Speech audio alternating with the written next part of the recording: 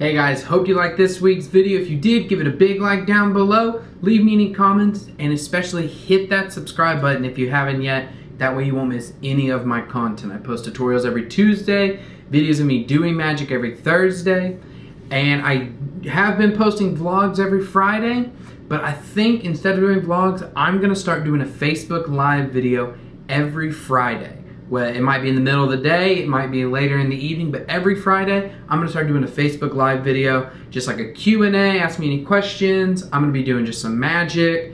Um, and normally when I do Facebook Live videos, I like to have giveaways. So make sure you go like my Facebook page at Andrew Funderburk Magic, and I'll see you guys next week. All right